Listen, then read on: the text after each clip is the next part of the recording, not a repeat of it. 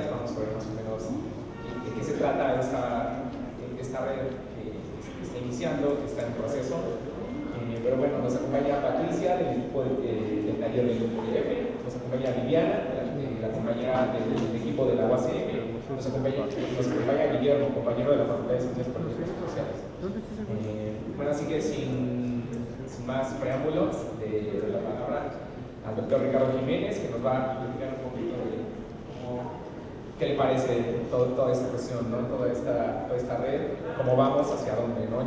Por ahí, no sé si vieron en, redes sociales, eh, traíamos este, una, una, discusión desde de, de unos días para atrás de qué se trata esta red, ¿no? cuáles son las fortalezas de, las, de la participación ciudadana ¿Qué tenemos nosotros como ciudadanos aquí en el Distrito Federal para, para, para, participar en nuestros gobiernos locales, ¿no? en nuestras delegaciones? También las debilidades, ¿no? sabemos que no es nada fácil, muchas personas que están aquí, que forman parte de la red, saben lo complicado que a veces es pues, participar en estos, en estos espacios, ¿no? aún con todas estas herramientas como el acceso a la información, herramientas institucionalizadas que nos permiten eh, pues, tener eh, un mayor acercamiento con nuestros gobiernos, pues todavía falta mucho. ¿no? Y de esto se trata de Al final vamos a tener una ronda de preguntas y respuestas para que nos digan todos, todas sus inquietudes. Pero bueno, entonces le doy la palabra al doctor Ricardo Jiménez gracias.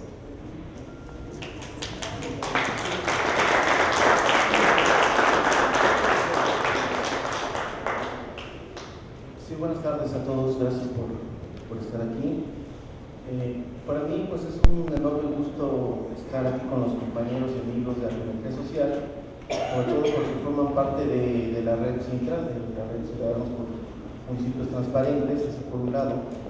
Por otro, porque también me dieron la oportunidad en algún momento, cuando arrancó este, este programa, de estar frente a algunos de ustedes, dando un, una especie como de, de taller, hablando sobre el tema de participación ciudadana.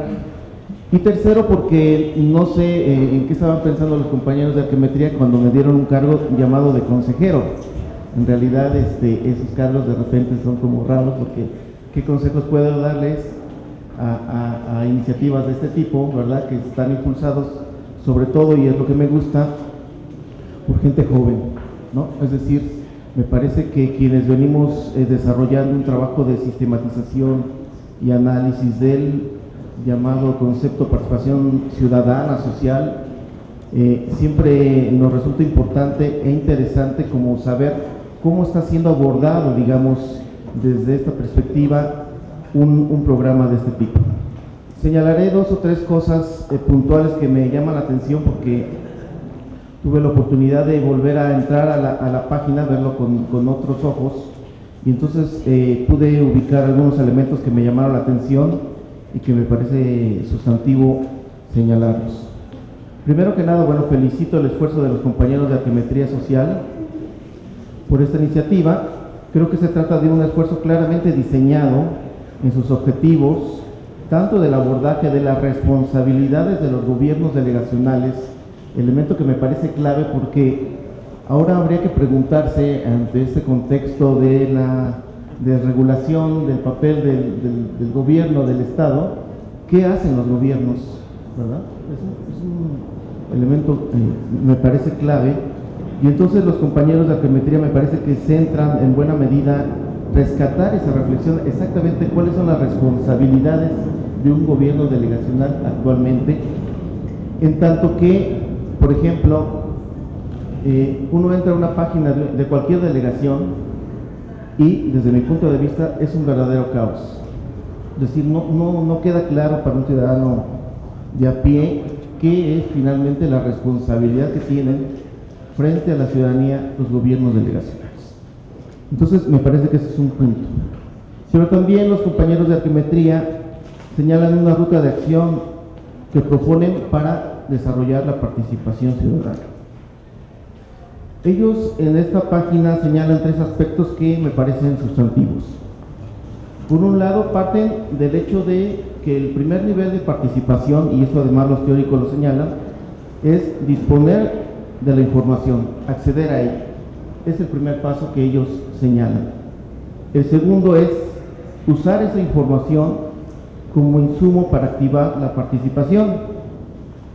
sobre asuntos de interés de la ciudadanía, que son los asuntos públicos, y proponen para ello acciones de vigilancia. Eh, en ese sentido, utilizar la información es un elemento clave, en tanto que eh, se podrá, digamos, eh, llegar al tercer elemento que es que los gobiernos delegacionales respondan por sus decisiones y acciones mediante mecanismos efectivos de rendición de cuentas. Estos tres elementos son los que de alguna manera forman como el, abordaje teórico-metodológico de, este esfuerzo, que me parece interesante. Quizás, desde mi punto de vista, valdría la pena examinar eh, puntos intermedios entre acceder a la información, hacer uso de esta y después rendir cuentas. Me parece que hay, un, hay una serie de pasos que también tendríamos que irlos como vislumbrando, que me imagino que van a ser parte de la práctica misma, ¿no? No tanto en el sentido del diseño, pero que habría que contemplar. Para finalizar, eh, me parece interesante que los compañeros eh, parten de un concepto que señalan como mejores gobiernos. Es un concepto interesante, habría que todavía sacarle más, más jugo, pero además no se queda simplemente con el, el, concepto en sí mismo, sino que señalan indicadores del mismo, que me parece sustantivo eso. Es decir, el indicador transparencia, rendición de cuentas, participación ciudadana, derechos humanos, desempeño efectivo, etcétera, me parece que son indicadores sustantivos de eso que llamamos mejores gobiernos. Pero lo que me interesa mucho más es precisamente que la transparencia deja de ser un elemento este, como neutral, ¿verdad? Para convertirse sobre todo en, aspectos transversales, ¿verdad? no se habla de la transparencia por la transparencia, sino siempre como un elemento transversal de otros, de otros procesos y eso le da fuerza. Eh, finalmente, el esfuerzo de arquemetría se centra en trabajar en redes, elemento sustantivo para eso que llamamos gobernanza, con ciudadanos, con actores jóvenes, con actores de, distintas esferas, para vigilar una serie de aspectos que están aquí eh, claramente señalados a mi derecha, y que bueno, eh, son eh, unos entre otros aspectos que podrían estarse vigilando, digamos. Finalmente, bueno, pues vuelvo a felicitar a los compañeros de, de, Arquimetría. Está, como todos sabemos, está arrancando este proceso, pero creo que ya está dando muestras de enormes potencialidades futuras. Me parece que va a ser un esfuerzo muy, muy interesante y que tendrá que tener un impacto importante en las propias delegaciones en su forma de, hacer y, qué hacer, y también en la forma de exponer la información de utilidad para la ciudadanía. Muchas gracias.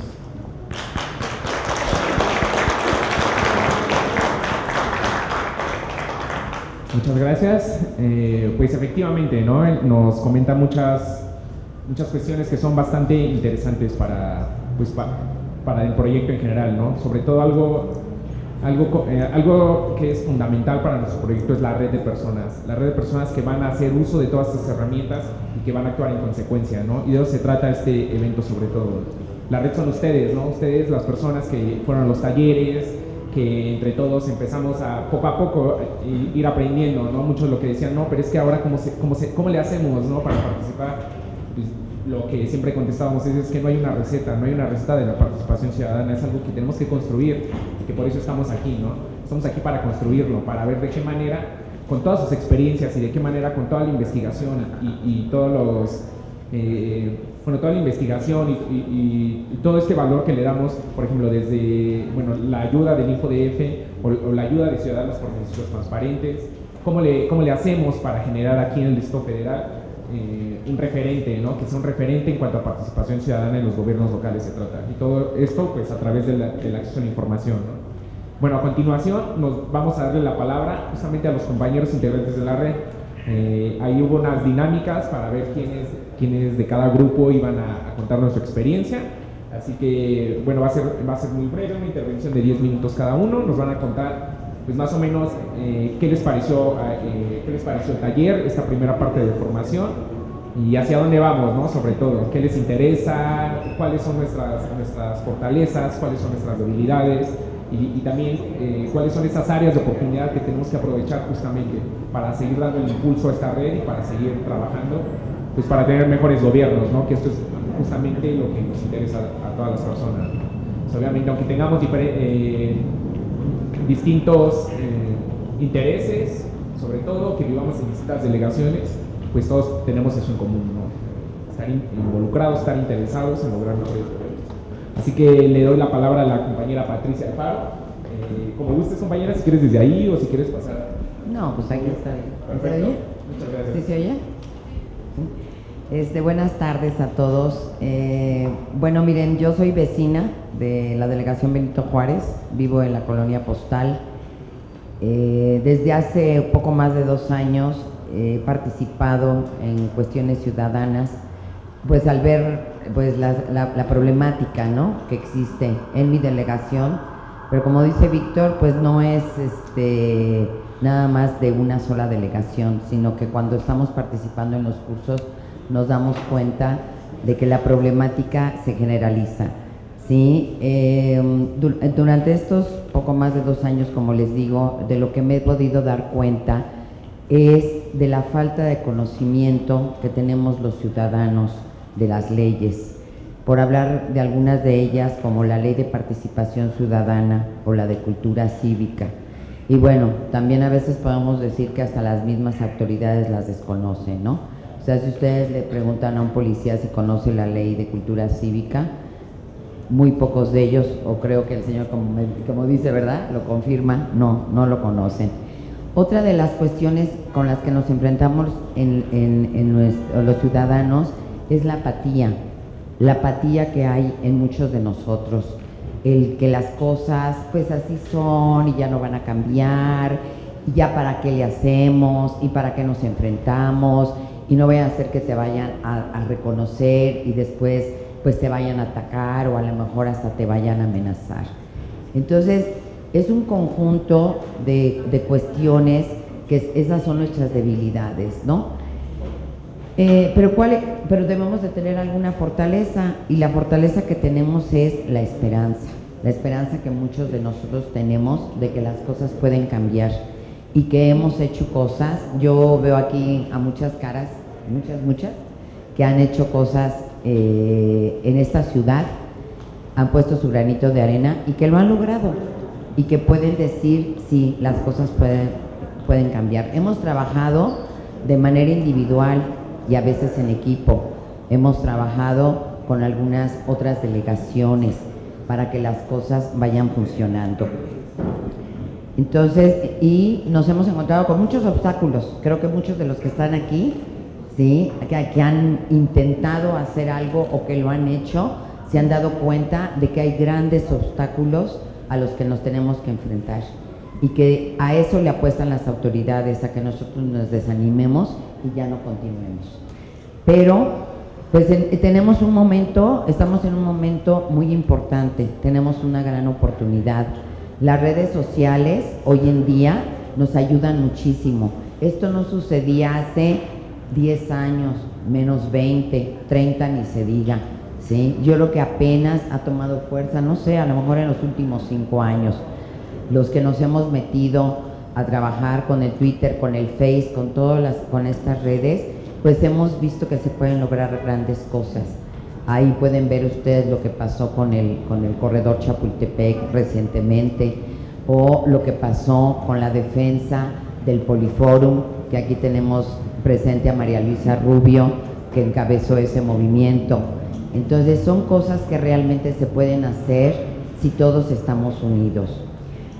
Otra de las cuestiones es que en los últimos años ah, se han nacido, se han formado asociaciones eh, y hay instituciones que realmente interesadas en que la gente se capacite para que podamos pues hacer alguna gestión, desde hacer una llamada telefónica para hacer un reporte, desde hacer un escrito, solicitar información, o sea, creo que esa parte no la debemos desaprovechar, debemos de tomar en cuenta eso, nos tenemos que capacitar. ¿Por qué? Porque a veces casi siempre somos los mismos. ¿sí? O sea, yo lo que sí me he dado cuenta que ya llevo algún tiempo viniendo a mis cursos de InfoDF, pero veo caras muy repetidas, ¿no? Entonces sí es, pero ahora tenemos a una que le insistí que viniera, a Pablo Giorgé, que también es de San Lorenzo, él también estuvo en la defensa del parque por el pozo que iban a poner ahí y, defendió a un árbol de 500 años que quería talar la delegación que se llama, que le pusieron el guapo. Entonces, como ustedes podrán ver, ahora sí que tenemos las herramientas para poder hacer que las cosas cambien, que no nos desanimemos. Yo de verdad felicito a Arquemetría, ¿sí? que realmente son gente muy joven, que tienen mucho interés. Hemos trabajado este, en algunas ocasiones, estar sábados de verdad, cuando uno podría estar a lo mejor ellos como chavos, bueno, y uno también, ¿verdad? Porque no? En, este, en Cuernavaca, tomando unas cervecitas, metiéndonos a la alberca. No, hemos estado sábados trabajando desde, la, desde las 10 de la mañana hasta las 3, 4 de la tarde. Entonces, hay mucho interés, hay mucho interés. Entonces, vamos a, a seguir adelante. Eh, yo, la verdad, sí tengo mucha esperanza de que las cosas cambien. Cuando la gente me dice que las cosas no van a cambiar, yo les digo que no me voy a ir de este planeta sin que hayan cambiado. A lo mejor no me quedan muchos, muchos años como a ellos, ¿verdad? Ellos les quedan más años. Pero yo por lo menos sí he visto que cuando uno se lo propone, las cosas sí cambian.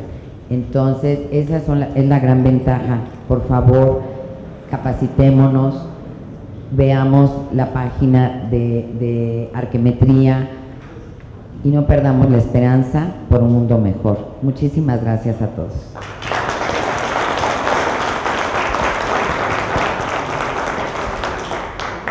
Muchas gracias compañera. Sí, efectivamente, como, como nos comenta, pues sí son muchos los retos todavía, ¿no? Sobre todo el desconocimiento de la ley o la apatía, pues todas estas cuestiones que todavía nos, vemos, bueno, las vemos como comunes, ¿no? Siendo que pues debería ser al revés, debería ser lo, que, lo primero que deberíamos trabajar, ¿no? En ciudadanos que conozcan sus leyes, que, que, las exijan, que las hagan valer y que estén interesados en lo que está pasando en sus delegaciones, en sus gobiernos locales. Pues, es cosa que nos interesa a todos, que nos interesa a todas las personas. Y efectivamente, como dice la, la, compañera, nosotros le estamos apostando también mucho a esa cuestión, ¿no? Dice la compañera, hay muchas caras repetidas, ¿no? Muchas personas que pues, están ahí al pie del cañón, pero pues en realidad son poquitas las personas que en realidad están defendiendo sus derechos y que en realidad están participando. Y justamente esa es una de, de las apuestas de, pues, del proyecto de arquemetría y del proyecto eh, Vigila tu delegación. ¿no? ¿Cómo llegamos a estas personas que todavía no se animan a participar, que todavía no conocen bien la ley, que todavía no saben que lo pueden hacer o que, o que tienen miedo o, desconfianza de hacerlo? ¿no? Justamente lo que queremos ir es ir hasta esas personas pues eh, incentivarlas para que conozcan la ley, para que, para que vean que no es algo de abogados y de burócratas, ¿no? es algo de, de, todas las personas, que todas las personas tenemos que conocer cuáles son los procesos que se están llevando en nuestras delegaciones y de qué manera nosotros podemos participar para exigir los mejores gobiernos. ¿no? A continuación le vamos a dar eh, la palabra a la compañera Viviana. Igual compañera, si quieres desde ahí, si quieres pararte como quieras y ella eh, eh, es del grupo de la UACM UTP.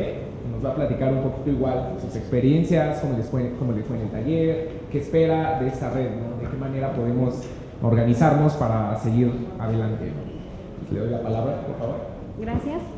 ¿Se escucha?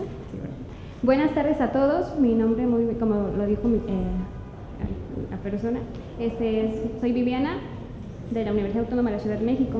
Eh, vengo de la delegación Gustavo Amadero, una de, la, una de las delegaciones que más población abunda. De tal modo, en esta delegación existen distintas problemáticas en las cuales son de, de contexto urbano, es decir, problemáticas en donde la sociedad a veces suele ser muy apática, motivo por el cual evita que exista participación ciudadana. En este tipo de problemáticas que puedo apreciar desde mi delegación es en referencia a los servicios que nos otorgan, es decir, atribuciones que tiene la delegación, las cuales uno como ciudadano a veces desconoce. Entonces, es de, que partimos de la participación ciudadana es que nos sirve a uno como, como habitante de del Distrito Federal para tener conocimiento acerca de qué bases tenemos para pedir y más que nada exigir los derechos como ciudadanos que somos. De tal modo, el taller de arquimetría social, desde mi punto de vista, es una plataforma en la cual uno puede llevar a cabo conocimiento acerca de la participación ciudadana, no solo para conocer las leyes, reglamentos y estatutos, sino también para saber cómo enfrentarse el día de mañana que uno pida información. Es un gran, es un gran problema esto que está pasando. En referencia, a, hago hincapié cuando uno solicita información acerca de su delegación, en específico, vuelvo a reiterar la gama, existe, eh, existe cierto, cierta este, apatía por parte de los de, los servidores públicos de esta, de esta delegación, debido a que la información que ellos otorgan no es tan veraz y de igual modo esa es una, una problemática para la participación ciudadana. Una de las fortalezas que desde mi punto de vista y desde el taller que comprendimos es que a través de, como decía la compañera, la unión de la sociedad es de que solamente de ese modo vamos a llevar a cabo una buena participación ciudadana, puesto que si uno como ciudadano no no emite el interés pertinente para, para conocer qué le compete, entonces va a quedar de lado. De estas funciones, de igual modo, las oportunidades que tenemos a través de, que se está implementando y el interés que existe, a la participación ciudadana es, como bien también se menciona en las redes sociales. En este caso, nosotros desde la perspectiva que tenemos, que somos jóvenes, por decirlo, tenemos esta nueva nueva base para poder acceder a la información. Es decir, ya no solo nos vamos a, dejar llevar por lo que digan autoridades, sino uno tiene que comprometerse a cuestionar y a saber este, qué está pasando en referencia a, en específico, reitero, a la administración, en este caso de la Gustavo Amadero.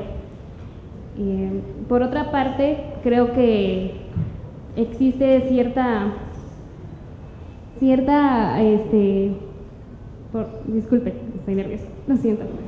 Este, me refiero a que eh, la, Asociación Civil que hace Arqueometría Social, el cual el, imparte estos cursos, me parece una buena experiencia para, para fomentar esta, este tipo de talleres. No, muy bien lo comentaba con una de las integrantes de Arqueometría Social, que desde mi punto de vista eh, sería interesante llevar este tipo de, de talleres no solo a, a instituciones, escuelas, sino llevarlo a colonias como coloquialmente, coloquialmente se dice, a barrios populares, para que así la gente tenga acercamiento total a que conozca, su, a que conozca lo, lo, que le, lo que como ciudadano tiene derecho y obligaciones de igual modo. En este caso, este, comprendo que la participación ciudadana es un punto exacto para empezar a cuestionar cómo trabaja la, la autoridad en referencia a a, los servicios que presta a la, ciudadanía. Disculpen. Gracias.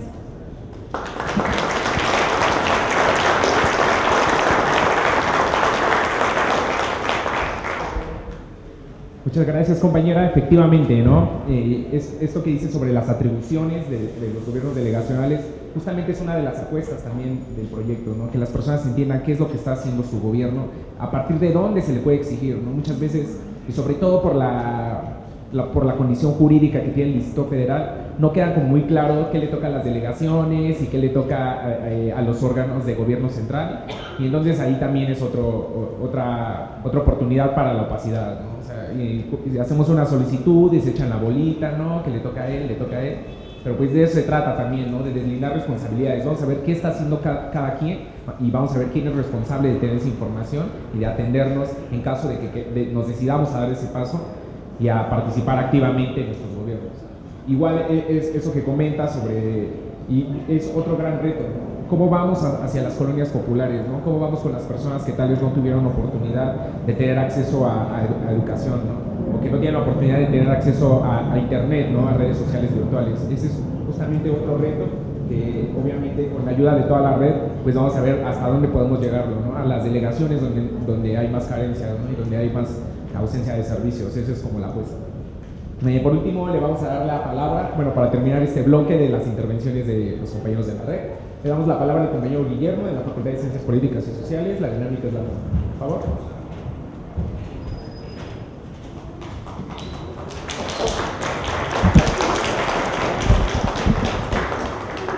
Bueno, sí, ok.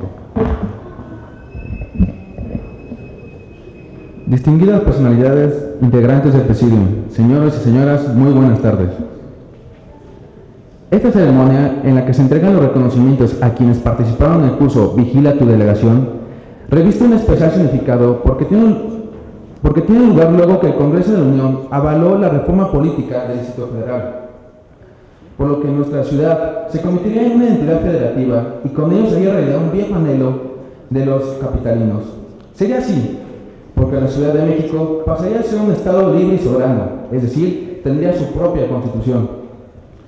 Y si se consolida este proyecto constitucional, las fuerzas sociales capitalinas tienen que demandar que en la nueva constitución se incluya en el mandato ineludible de la transparencia y rendición de cuentas, para que todos podamos saber cuánto, cómo y en qué se gasta el presupuesto de la ciudad y de las delegaciones, que pronto serán los municipios. Precisamente, los fundamentos legales y las metodologías para vigilar el manejo de los recursos públicos fue lo que aprendimos en nuestro curso.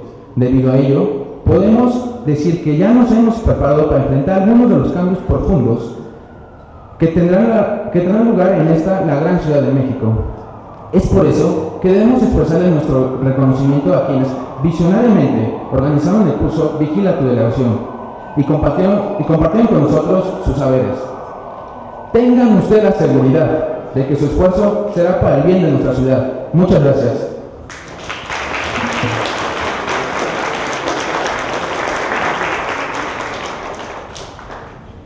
Muchas gracias compañero. Efectivamente, ¿no? tocó un punto muy importante, la reforma política de la Ciudad de México. ¿Qué va a pasar entonces cuando tengamos estas alcaldías, cuando tengamos estos organismos? Obviamente va a haber diferentes reglas, va a haber diferentes atribuciones para las alcaldías, entonces tenemos que estar listos, ¿no? tenemos que estar eh, preparados para ver, primero para intervenir en, en la Constitución, vamos a vamos a garantizar que en verdad se plasmen todos estos derechos por los que por generaciones la ciudadanía de la Ciudad de México ha luchado y que nos hacen estar en la vanguardia en muchos sentidos respecto con otras entidades del país. Eso es algo muy importante que obviamente tenemos que, en lo que tenemos que trabajar. Y también, también en ese sentido, pues eso nos abre un área de oportunidad, ¿no? Si son, se trata de alcaldías, pues tal vez justamente lo que veíamos en los cursos, ¿no? Por cómo están configuradas las delegaciones, esa cuestión de que no hay eh, figuras de oposición en, en, en el, en, bueno, en la estructura de gobierno delegacional, pues es un área de oportunidad para ver de qué manera pues, podemos, podemos incidir y podemos ver, mmm, bueno, garantizar que existan en realidad esos espacios y que se,